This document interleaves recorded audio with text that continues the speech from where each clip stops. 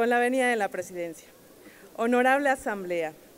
México necesita gobiernos locales capaces, con autoridades técnicamente aptas, honestas y capacitadas para ejercer sus funciones con eficiencia y eficacia.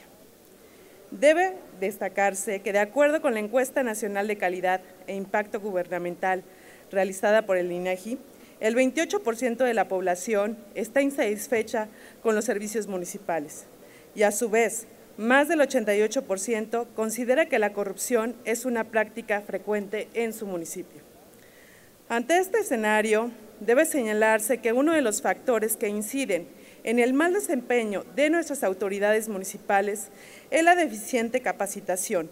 ya que según la encuesta nacional sobre el desarrollo institucional municipal, siete de cada diez alcaldes no tienen experiencia previa en cargos administrativos. Todos vivimos una realidad en las administraciones municipales, ya que en el sistema federal el municipio es la alma y fuerza del Estado mexicano. Pese a las reformas del artículo 115 constitucional que se dieron en los años 1983 y 1999 para fortalecer al gobierno municipal, nuestro país sigue viviendo un municipalismo tradicional, en el que además, debido a la gran heterogeneidad de los municipios, algunos gobiernos locales ven rebasadas sus capacidades institucionales por las atribuciones que les da la propia ley. Por lo que es necesario transitar de un centralismo arraigado a un federalismo coordinado, en el que contemos con gobiernos locales capaces de ejercer sus funciones con eficiencia.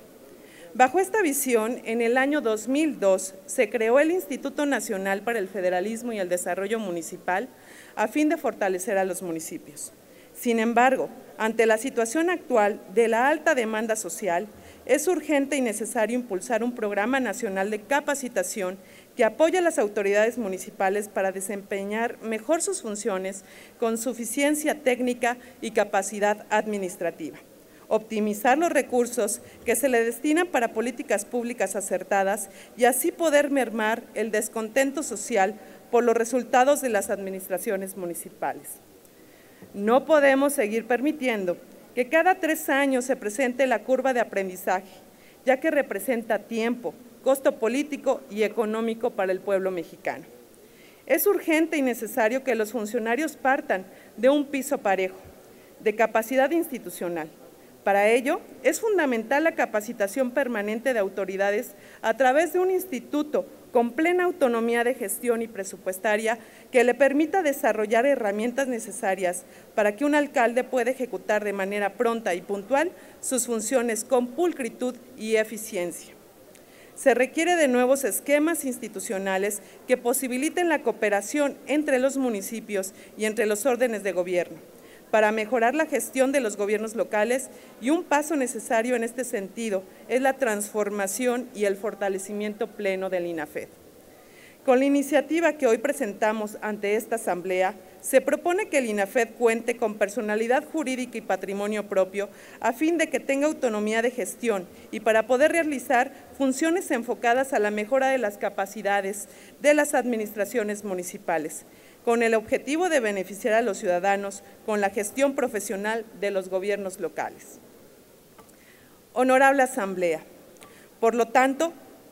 ponemos a su consideración la presente iniciativa con el proyecto de decreto por el que se expide la ley del Instituto Nacional para el Federalismo y el Desarrollo Municipal, INAFED,